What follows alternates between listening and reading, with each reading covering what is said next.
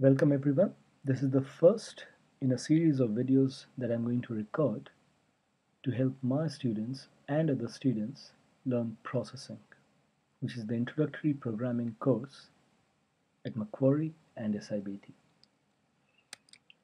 The agenda for this video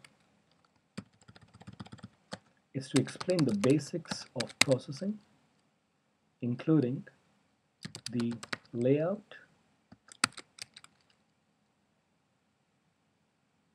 shapes, colors, and comments, and other miscellaneous topics, basic topics. Now the first thing you'll need to know is where do you get processing from? So the website to get processing from is http colon slash slash processing.org. It's a free software and you don't need much to install that software. Once you have processing and you run it, you'll see a display window like that. It's actually the editor area. This is where you write your program. There's a play button where you run your program, stop, create a new program, open a previous program, save the current program, and export. All these things can be done using keyboard shortcuts as well, which I prefer.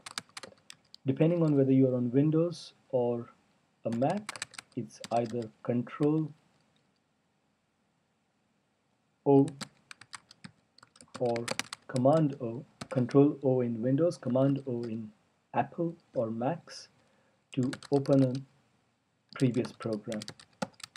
Similarly, Control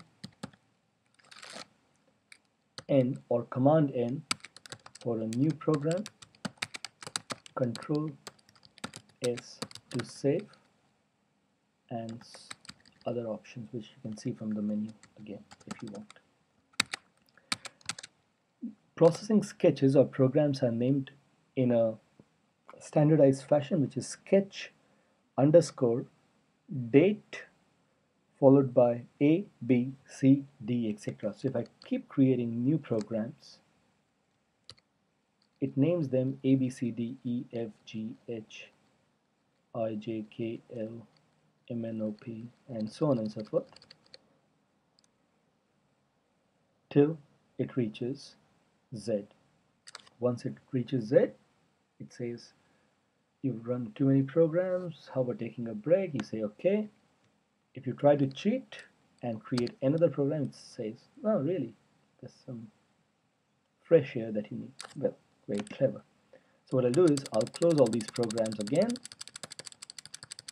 and open my original program. And the first program we'll write is for a simple display window. You don't have to start from here, you can just do this. So the ba most basic command in processing is size. You can specify how wide and how high do you want the display window to be. In processing, all statements end with semicolon, just like in English. This end with a full stop, exclamation, or question mark. So here, I run this, and it creates a display window or output window of size 400 pixels by 300 pixels. You can create a display window of 100 by 100 as well. But in this case, the enclosing window has to be of at least size 150 by 150. So what you see is an output component of 100 by 100 pixels enclosed in a display window of 150 by 150. So what I'm trying to say is the smallest output window should be of size 150 by 150 so that the entire window is actually the canvas. For all our programs, we'll keep it as 400 by 300. Now, processing addressing is done in a way that the top left corner is 0, comma 0. As you go towards the right, the x component increases as you go towards the bottom, the y component increases. So let's take a look at this point over here. This point is that much distance to the right of the origin. The entire display window is 400 which means this distance is approximately 320 just a guess similarly this point is this distance to the bottom the entire height is 300 which means this height is about 75 which means the location of this point is approximately 320 to the right and 75 to the bottom. How do we know that? Let's write a simple instruction which is point at location 320 comma 75 and see if it draws the point at the location I specified. You cannot see much, you can see a really tiny point right over here which is where I claim 320.75 to be. You can increase you can increase the brush stroke by using stroke weight command with a capital W and specify the brush size. So brush size 5 means a higher brush size and you can now see the point over here. If you increase it to 30 it's going to be even bigger. That's it. So that's point 320 75. Now let's create a point at 140 220 any guesses where this point is going to be let's see this point is 140 pixels to the right and 220 pixels to the bottom so I approximate this point to be over here if I run my program well, almost. So that's point 140, 220. Let's draw a point in the center of the window. So what I want to do is draw a point that is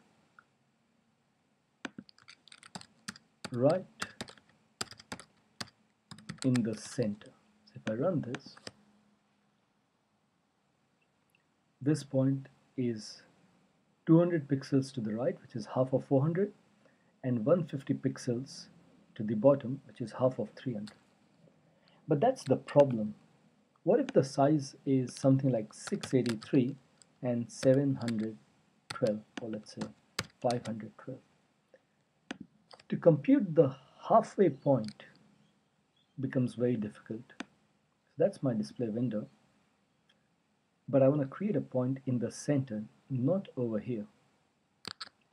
Processing facilitates that by remembering what's the width of your display window in a variable called width. So I can simply divide it by 2 and how high is your window so I can divide that by 2 as well. This makes my program really scale uh, scalable. Please note only this point. What I'll do is I'll remove the other two points. So if my display window changes in size, it doesn't matter because my point goes along with the display window size. So if my display window increases, my point will go further. If my display window size decreases, my point will go back. So 152, just keep changing it just to check it out. There you go. So that's what's called a scalable program.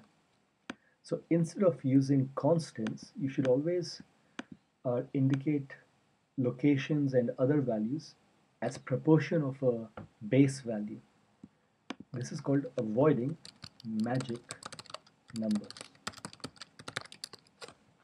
Please note that I put two slashes here and wrote a comment in front of it. So in processing, anything that you write in front of two slashes is invisible to the compiler. So the compiler sees the program without the comment, while the comments are just for documenting what we need. Alright, the next command is line. line goes from one point to another point. So we'll draw the line from let's say width by 3, height by 3 to 2 times width divided by 3 to height by 3. I'm going to hide this right now by commenting it out which means it's not a part of the executable code and run my program.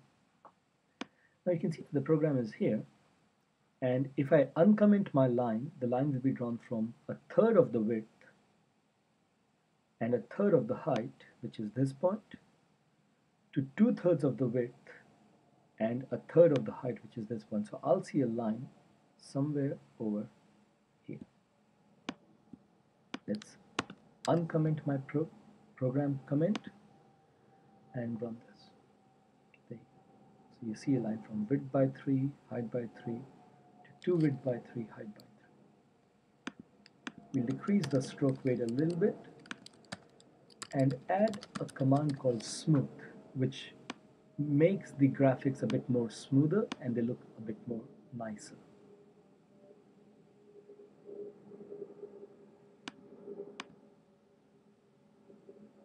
That's it. That's the point. That's the line.